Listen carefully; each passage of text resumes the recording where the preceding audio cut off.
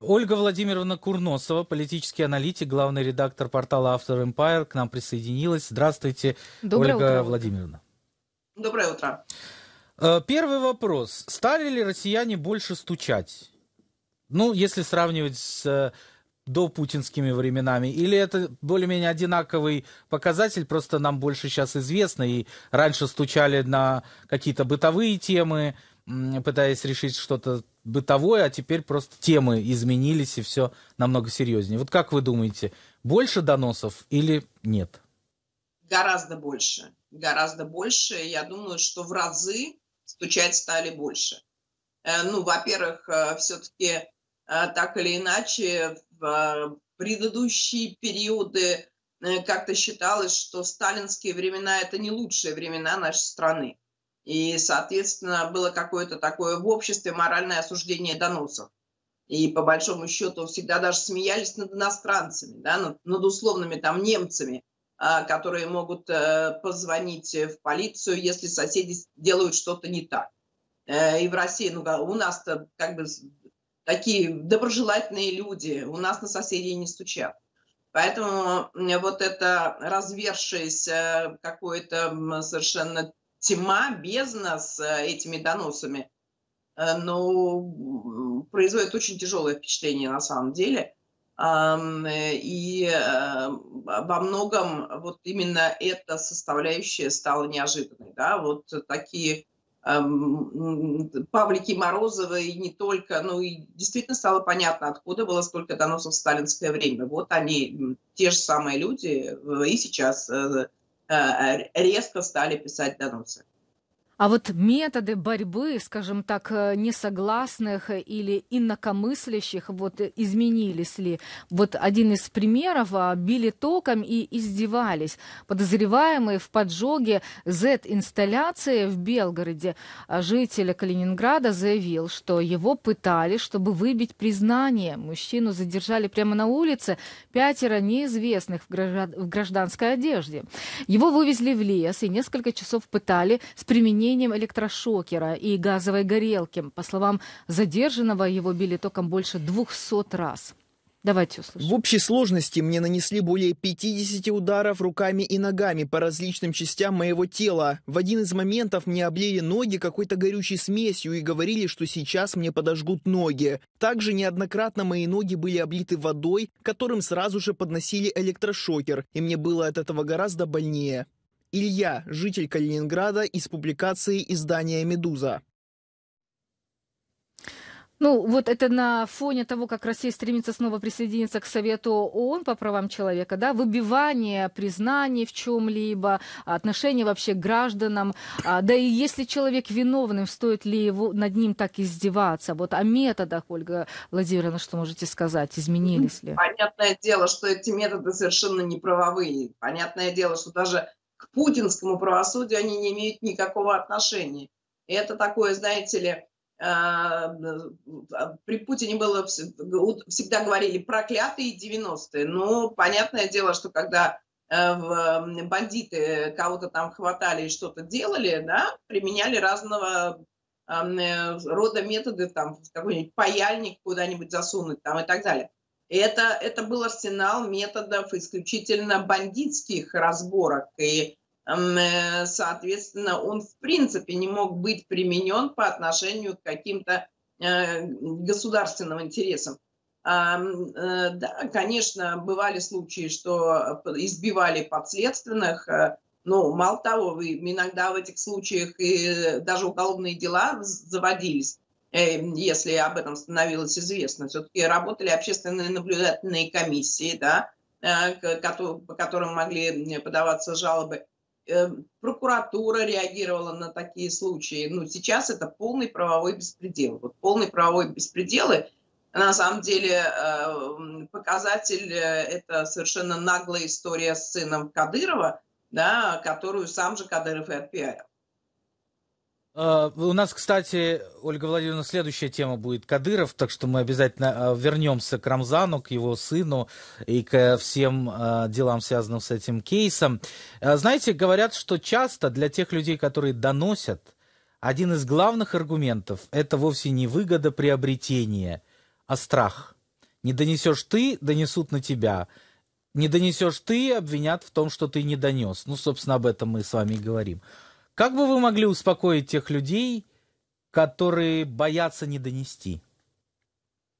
Ну, тех людей, которые боятся не донести, знаете, на мой взгляд, э, и, и, и при этом думают о том, что донести надо. То есть если у тебя, в принципе, в голове возникла мысль, что надо донести, мне кажется, уже просто разговаривать с тобой нет смысла.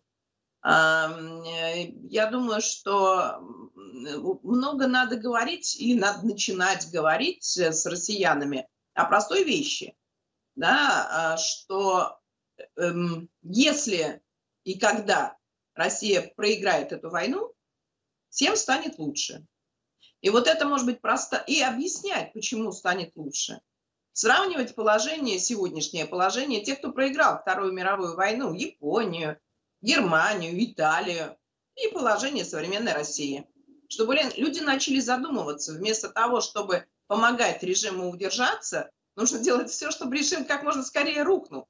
Потому что тогда, э, наконец-то, Россия проиграет войну, и э, ситуация начнет изменяться к лучшему. Надо объяснять людям, что репарации платить не страшно, потому что это нефтегазовые деньги, которые они не видят, их э, просто разграбляют путинские олигархи. Это те э, средства, которые уже арестованы в ходе санкционной политики, которые тоже россияне в жизни никогда, своей никогда бы не увидели. Поэтому репарации платить тоже не страшно, они не будут влиять на жизнь обычных э, людей.